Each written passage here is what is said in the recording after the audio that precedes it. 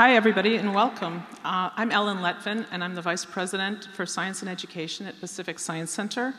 And more relevant to this evening's work, I'm the uh, Director of the Seattle Science Festival. As yeah.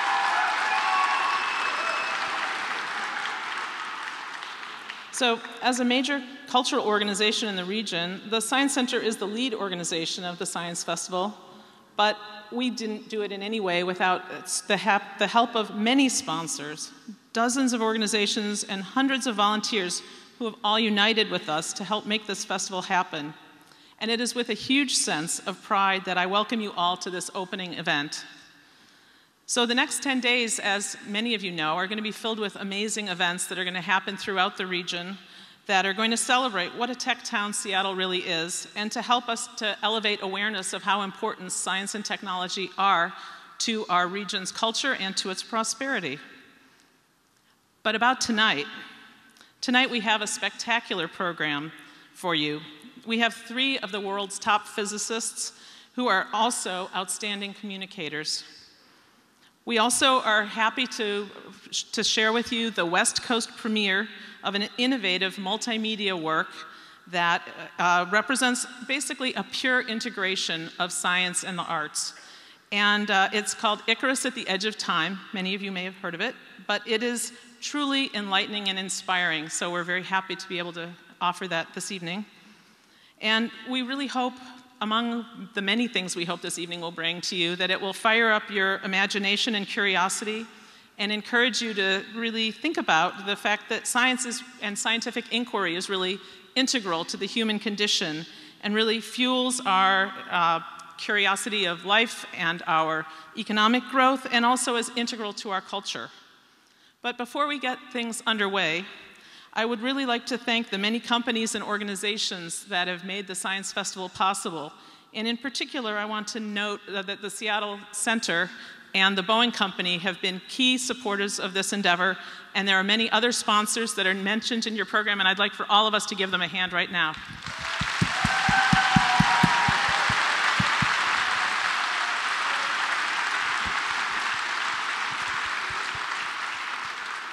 So the last thing I'd like to mention is that your feedback is critical to us.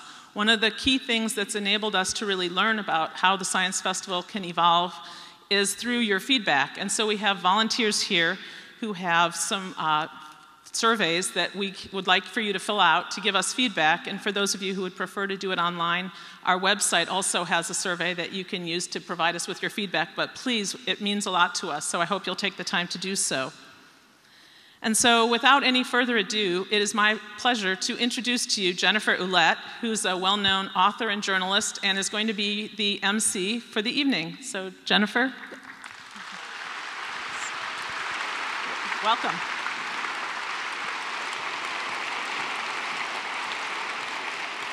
Oh, welcome, everybody. Thank you so much for coming out tonight.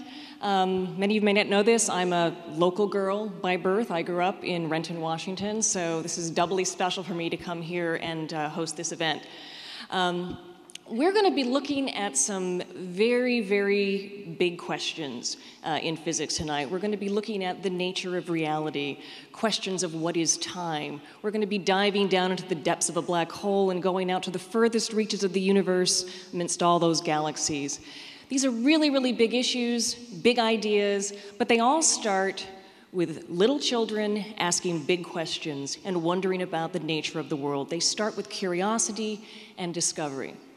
When I was a little girl growing up in Renton, Washington, I lived for every Saturday because that's when my mother, who's in the audience tonight with my father, um, would take me to the local library, the Renton Public Library, and I would get to pick out my books for the week. And I lived for that. I would get lost among the stacks. Unbeknownst to me, on the other side of the country, just outside of Philadelphia, there was a little boy who also lived to go to the local public library. And he would go and pick out his books and he would lose himself in the stacks. What he was reading were books about the stars, books about the universe, about reality, about physics. He fell in love with it.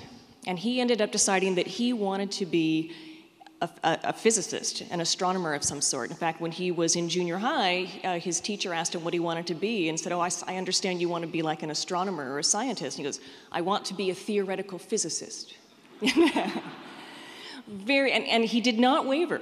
He ended up getting a degree, an undergraduate degree, uh, and going on to get a graduate degree. He became a physicist. He became a professor. He lectured. He wrote books. He did research papers. And somewhere along the way, he met that little girl who had grown up to be a science writer, and he married her. And uh, we live happily ever after in Los Angeles, California.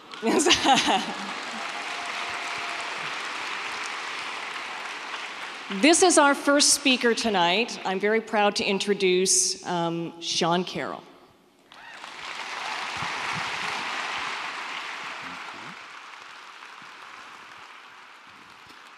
Whenever I talk about time, people always want to know what is time?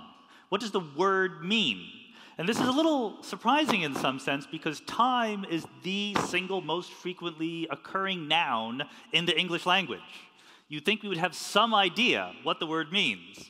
And I want to argue that we do have some idea what the word means. When you're told, you know, the event tonight begins at 8 p.m., you're not baffled right? You're not like, oh, what does that possibly mean? 8 p.m. I've never heard of that before. You, you know what to do. We know how time actually works in the universe.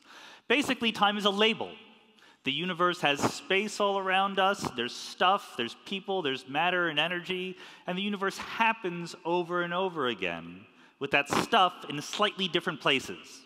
Time is just a label that we give to all the different moments in the history of the universe, like pages on a book or frames in a film reel. And we can tell time, right? We can measure it, we can do science to it. We tell time using clocks. So, what is a clock? A clock is just something that does the same thing predictably over and over again. We know that as you go from summer to winter and back to summer, the sun is going to rise and set 365 and a quarter times every single time. When the little hand goes around the clock once, the big hand is going to go around 12 times. These days, we build atomic clocks that can measure time to exquisite accuracy. And nevertheless, we show up late for all sorts of appointments. Why is it that we have some notion of how time passes, but we're not perfectly accurate, it's because you are full of clocks. Your body has clocks, things that do the same thing over and over again. Your breathing, the electrochemical pulses in your nervous system, and your heartbeat. But these clocks are not perfectly good. When you can't tell time very well, this is not physics' fault. This is your fault. This guy, Galileo, one of the, that's Galileo, right? There he is. Uh, one of the founders of modern physics, but he was a young kid once. He went to church on Sunday. His attention would occasionally wander. He would look at this. This is actually the chandelier in the church in Pisa. You can still visit it today, right outside the Leaning Tower. And Galileo watched the chandelier rock back and forth. And he noticed something that you or I, not being Galileo, would not notice. He noticed that it always took the same amount of time to go back and forth. How did he know that? He timed it using his pulse. You can imagine the young teenager Galileo like looking at the chandelier as the sermon is going on, counting his heartbeats. Both the chandelier and his heartbeat are pretty good clocks. So, in fact, time is not that mysterious at all. We can use it, we can measure it, we can put it to work. Where the mysteries come in are in the aspects of time. There's certain features that time has that we certainly don't yet understand. So one of them is why is there a direction to time? What I mean by that is, you know, here on Earth, we can certainly tell the difference between up and down. When you drop something, it falls down. But we don't think that that's because space has some intrinsic direction. We think that that's because there's the Earth beneath us. If we were in the spacesuit flying high above, we wouldn't know the difference between forward, backward, left, right, up, down. All the directions of space would be perfectly equal. Whereas when it comes to time, there's a very strong difference between the past and the future. Individual human beings age in a certain direction, Benjamin Button notwithstanding. Species age in a certain direction society changes in a certain direction and doesn't change back. When I show you any one of these two pictures, you know which one was in the past, which one is in the future. That's the arrow of time. It's just the fact that the past and future are very, very different from each other. So, why is that? Why is there this arrow of time? Well, we can again, we can do science to that too. We've come up with a term you might have heard. It's called entropy. The second law of thermodynamics is this wonderful law of physics that tells you why the past is different from the future. Entropy is this buzzword you may have heard. It's just disorderliness.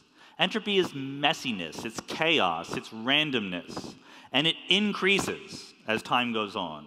You take the egg unbroken, that's low entropy, that's orderly, that's organized. It's easy to break it, it's easy to scramble the broken egg. It is very hard to go backwards. It's very hard to put Humpty Dumpty back together again. Entropy increases as time goes on. And the wonderful thing is that that one fact, the fact that entropy goes up as time passes, is the reason behind all of the differences between the past and the future, why you can remember the past but not the future, why you're born young and grow old. So, the one major important fact about the entire universe is that chaos and disorder increase. This is a uh, bleakly existential, despairing view of the universe that science has given to us. But at least in the meantime, we can think about why it's like that. That's what scientists like to do. So, why does entropy increase? I'm going to explain a little bit why entropy increasing is behind the arrow, but what is entropy? Why does it increase? This was figured out by this guy, Ludwig Boltzmann. He lived the dream as far as physicists are concerned because he has an equation on his tombstone. I tell all of my students, you should always be thinking, what will your tombstone equation be someday? Boltzmann's equation on his tombstone is his definition of entropy. What Boltzmann and his friends said look, if you believe in atoms, which not everyone did in the 1870s, but if you believe in atoms, I can tell you what entropy really is. It's because if I have cream and coffee, for example, when I look at it, I don't see every atom. I don't see every molecule, every particle. I just see the basic coarse features of this system. So there's ways that I could rearrange the atoms and molecules, and you wouldn't be able to tell the difference. Entropy just tells you how many ways there are to rearrange the atoms without changing the overall looks of something. So when you have the cream and the coffee separate, that's low entropy because as soon as you touch it, they start to mix together. When they're all mixed up, that is high entropy. There's many, many more ways for the cream and coffee molecules to be mixed together. So you want to know why entropy increases? Boltzmann says it's the simplest thing in the world. There are more ways to be high entropy than to be low entropy. You start something off, you put the cream separately from the coffee, it will mix together. It will not unmix, just because there's more ways those atoms can be mixed up to look like on the right. But decades past, people thought about this very, very carefully. Boltzmann and his friends and people throughout the 20th century, they said, you know, what you're telling me, Mr. Boltzmann, Dr. Boltzmann, Herr Professor Dr. Boltzmann, is that there are more ways to be high entropy than low entropy, so entropy naturally increases. That explains to me why the entropy will be higher tomorrow. It doesn't explain to me why the entropy was lower yesterday.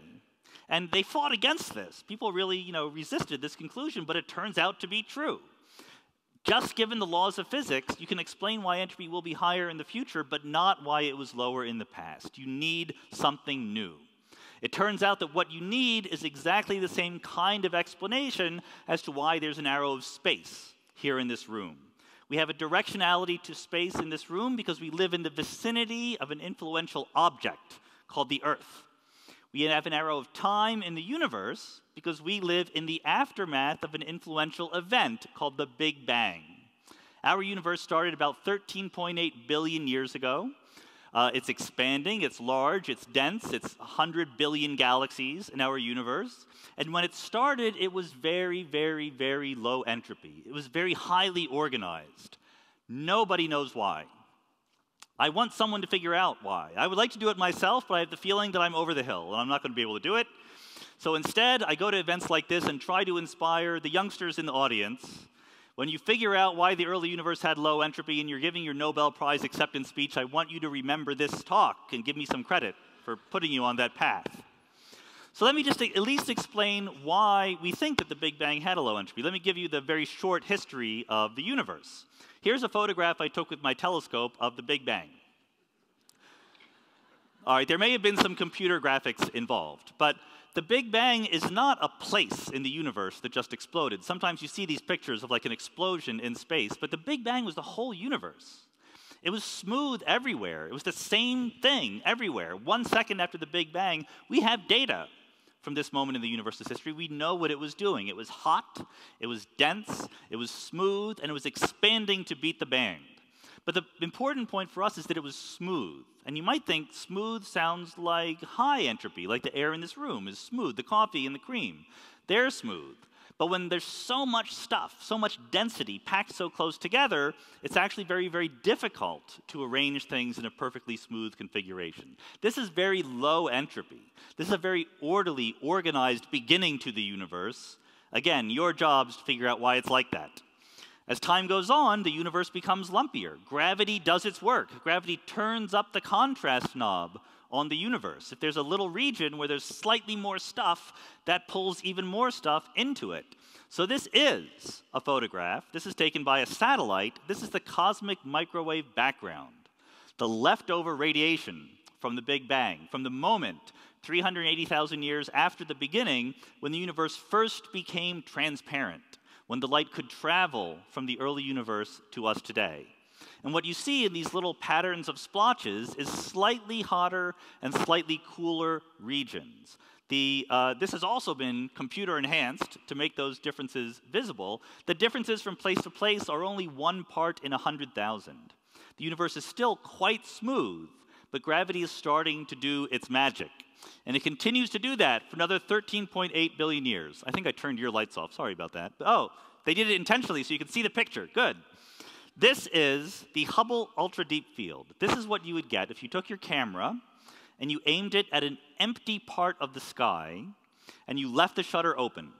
If your camera is attached to the Hubble Space Telescope, then what you will find out is that the sky is not that empty, that it is alive with other galaxies. We live in a galaxy, the Milky Way, with about 100 billion stars. There are about 100 billion galaxies in the observable universe. Every one of these splotches here is a galaxy with of order hundreds of billions of stars. Who knows how many science festivals are going on where they're looking at a picture of us? But the point is that gravity has increased the lumpiness of the universe. You now see individual galaxies, stars, planets. On very large scales, it's still smooth, but gravity has brought things together. It's also lit things up. You see these galaxies because stars are shining, because they are converting low entropy hydrogen and helium into more heavy elements and photons, increasing the entropy of the universe, but it can't last forever. If you wait long enough, about a quadrillion years, the stars will burn out. They will have no more nuclear fuel. Will be nothing left with, left with nothing but black holes and rocks. Rocks would be planets, moons, dead stars, white dwarfs, brown dwarfs, etc.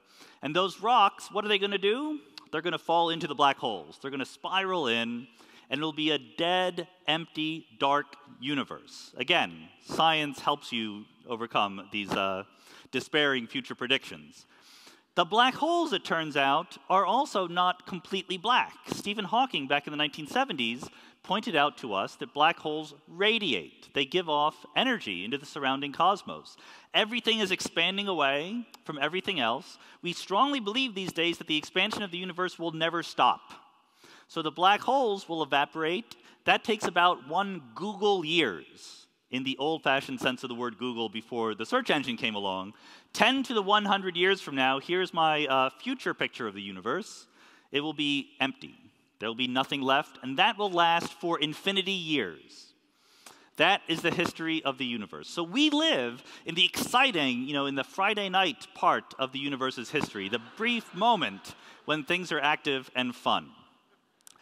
Now sometimes this is this can be a little depressing picture. Sometimes people want to know, well, if entropy is increasing, if that's the story of the universe, and entropy is just chaos and disorder, how do we get all these wonderfully complex, interesting things like you and me and the Seattle Science Festival and so forth?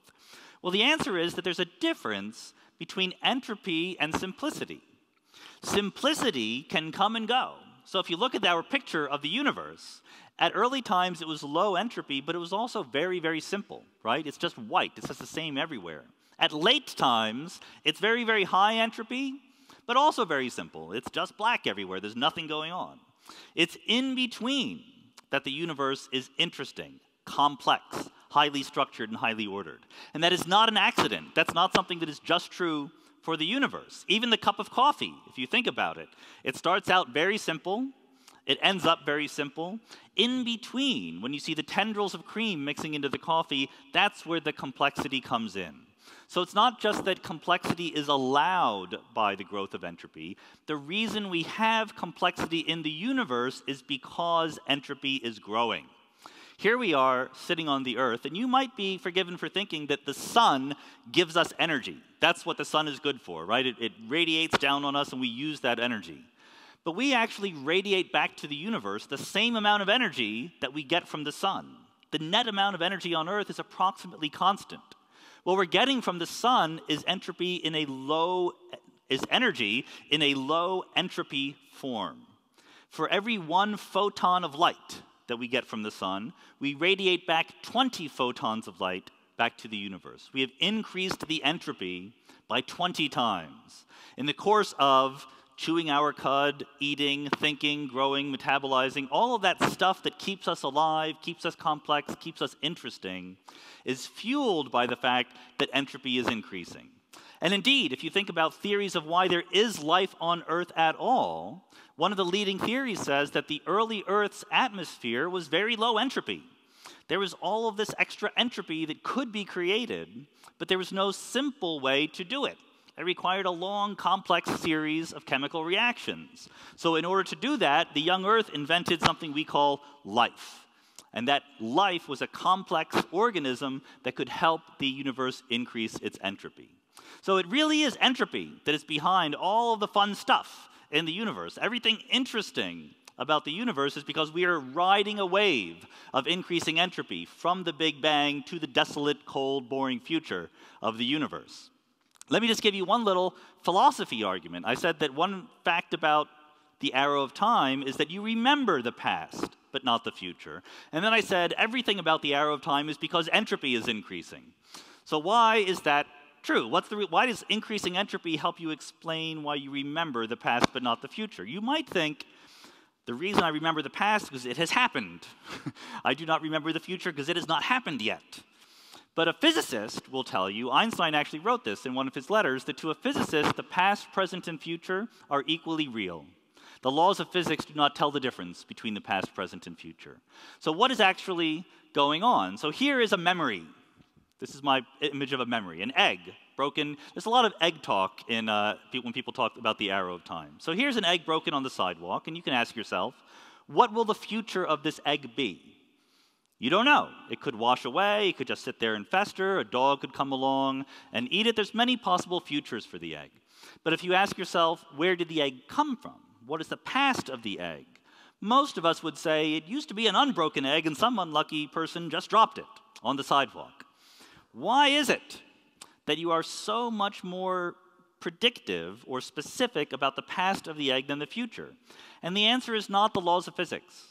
As far as the laws of physics are concerned, there's an equal number of ways you could get that egg as things that could happen to the egg in the future. The difference is that we know something in addition to the laws of physics. We know about the low entropy Big Bang. We know the universe started 13.8 billion years ago in a low entropy state. So if you take the current situation of the egg and add to it the fact that we started in the Big Bang, you get a construction of where what the history of the egg was like. It came from a chicken. Somebody dropped it. You can give the Big Bang credit for the fact that you can remember yesterday but not tomorrow. But again, remember the most important thing I have to say here is that even though entropy is increasing, and that's why there's a difference between the past and the future, we don't know why we don't know why the universe started off with a low entropy state. This, this feature of our everyday lives that we're all born young and grow older. The, the feature that we can make choices about what to do tomorrow, but not make choices about what we did yesterday as much as we would like to do that. It's all because we live in a universe that is subject to this fact that happened 13.8 billion years ago. Cosmologists, people like me, would like to understand why. We would like to build a theory of the universe that makes this very natural and necessarily true. We haven't done that yet. Come back maybe next year. Hopefully, we'll have it all figured out. Thank you.